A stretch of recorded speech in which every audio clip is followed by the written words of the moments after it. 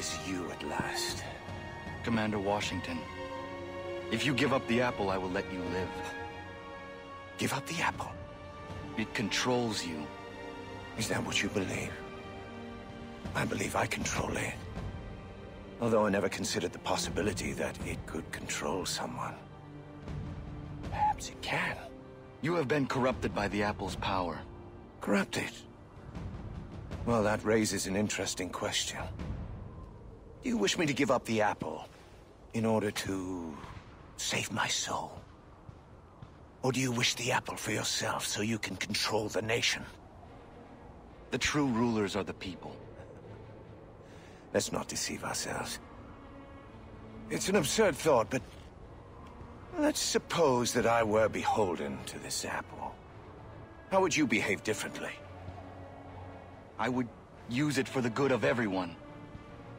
Well, the possession of the apple is both a burden and a blessing. Tell me, when you shake the earth, you feel that you are a slave to the people? Or do you wish to be their master? The people want you brought down. But you didn't answer the question. I am the only king here!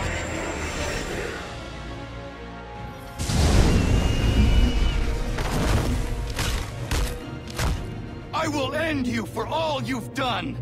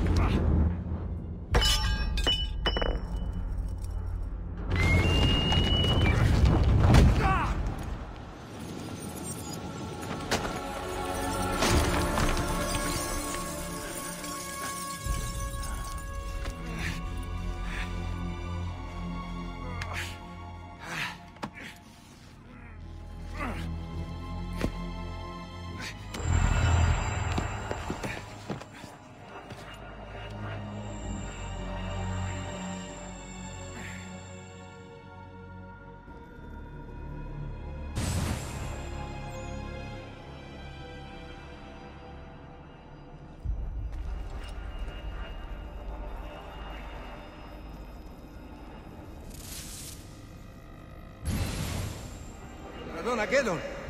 I died trying to bring down Washington. And I plead with you, do not pursue the apple. My son, I am so worried for you. The sky journeys have led you astray. Give up your fight for the apple, please, my son. Please.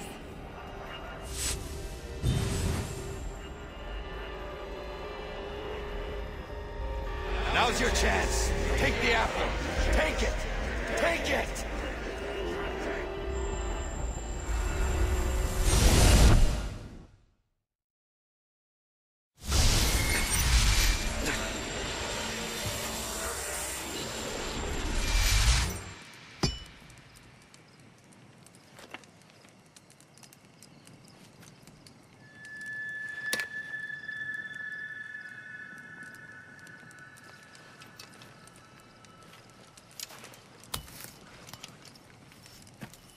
Commander.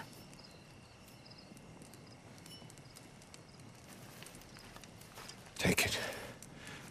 Take it from me. I do not want it.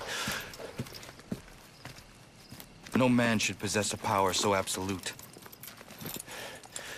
Sink it into the sea. Weight it, and sink it to the bottommost reaches of the ocean.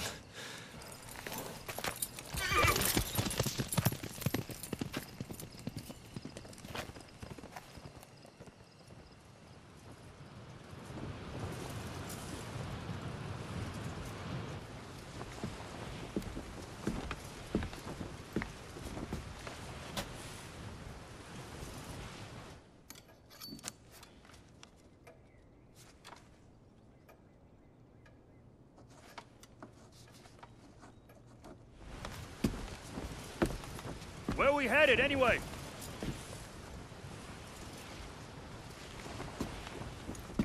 Commander Washington, I thought I was alone. I'm sorry to interrupt. Oh, it's quite all right.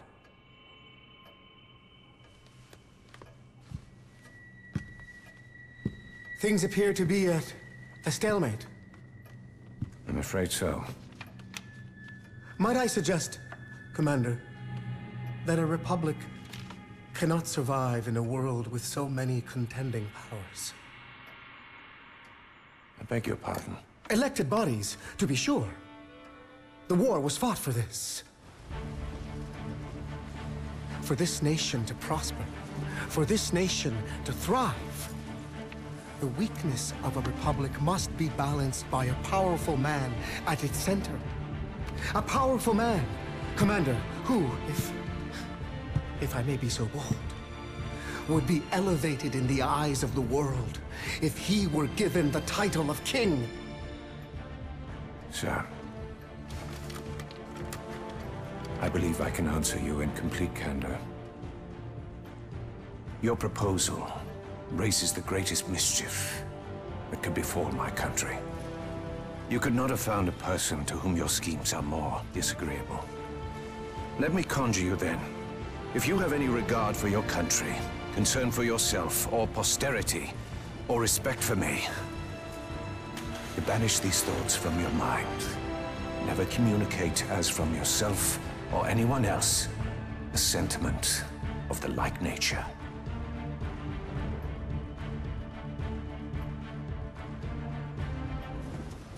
We are done here. You want to go back?